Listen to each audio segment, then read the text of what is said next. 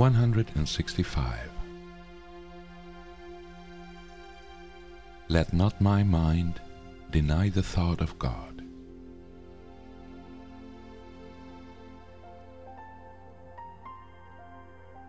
What makes this world seem real except your own denial of the truth which lies beyond? What but your thoughts of misery and death obscure the perfect happiness and the eternal life your Father wills for you? And what could hide what cannot be concealed except illusion? What could keep from you what you already have except your choice to see it not, denying it is there? The thought of God created you, it left you not, nor have you ever been apart from it an instant. It belongs to you. By it you live. It is your source of life, holding you one with it, and everything is one with you because it left you not. The thought of God protects you cares for you. Make soft your resting place and smooth your way, lighting your mind with happiness and love. Eternity and everlasting life shine in your mind because the thought of God has left you not and still abides with you.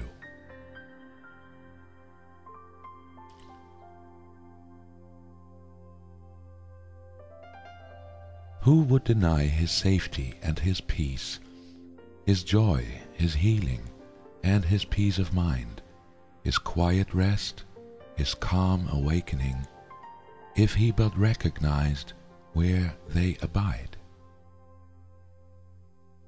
Would he not instantly prepare to go where they are found, abandoning all else as worthless in comparison with them? And having found them, would he not make sure they stay with him and he remain with them?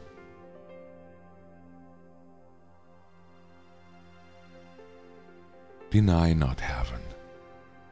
It is yours today, but for the asking. Nor need you perceive how great the gift, how changed your mind will be before it comes to you. Ask to receive and it is given you. Conviction lies within it. Till you welcome it as yours, uncertainty remains. Yet God is fair. Sureness is not required to receive what only your acceptance can bestow.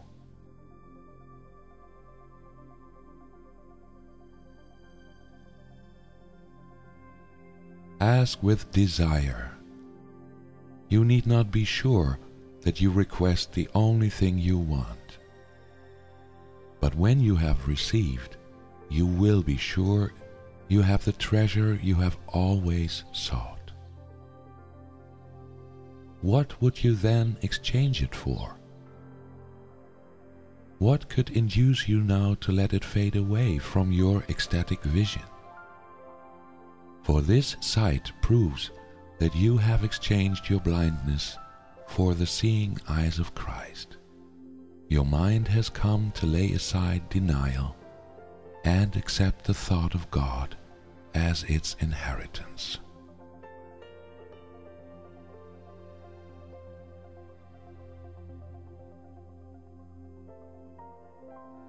Now is all doubting past, the journey's end made certain, and salvation given you.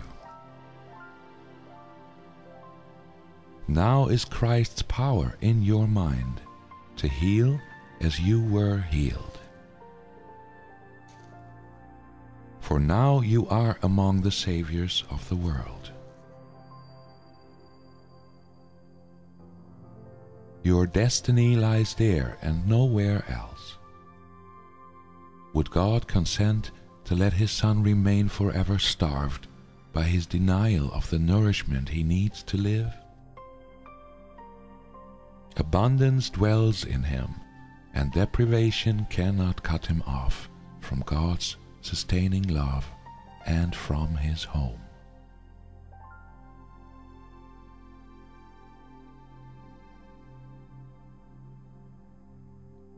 Practice today in hope, for hope indeed is justified. Your doubts are meaningless, for God is certain. And the thought of Him is never absent. Sureness must abide within you who are host to Him. This course removes all doubts which you have interposed between Him and your certainty of Him. We count on Him and not upon ourselves to give us certainty. And in His name we practice as His word directs we do. His sureness lies beyond our every doubt. His love remains beyond our every fear. The thought of Him is still beyond all dreams and in our minds according to his will.